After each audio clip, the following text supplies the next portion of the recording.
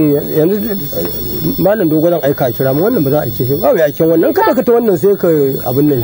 To ai gara ka aike shi tunda malam dogon baya nan wa zan dan an ga min alhajin ya jiya ya dawo ya ɗauko kayayyakin atamfofi sababbi. To tunda malam dogon baya nan ka kirawo shi ya wannan ku kwayi babu aiken sa ba garin je da kaina ba. Ya kwakwai ya babu. To ai ka wanda kake so ya ka aika din baya nan ba. Sai ka kirawo shi shi ka aike shi ba? Kayya ba za shi ba. Ka idau. Idau to in kin ka ji aike shi. nace kin ji ma tun yanzu ai Kai na idau? nawa idau Na'am. Eh,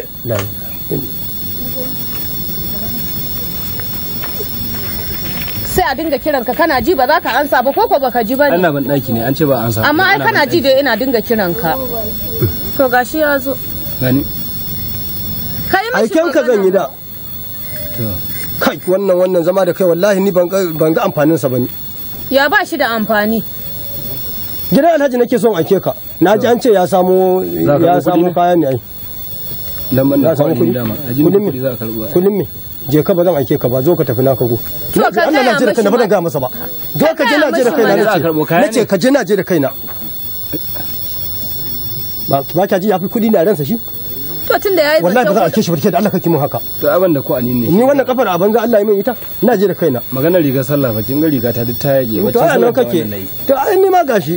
Sau dubu ka kai zancen za nan ga lauje ai, sai kai mun wallahi sai na riga amfane ka za ka lalace. amfane ni.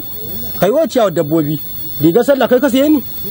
To ya za ka na yi je can zan je gurin kayan na ce zan je gurin alhajin Abokai na ka dariya suke mun duk inda in ya kawo riga ciyawa dabbobi ki tuna mun in ba da dinki hashi in ba ka ba wallahi ba ruwana to.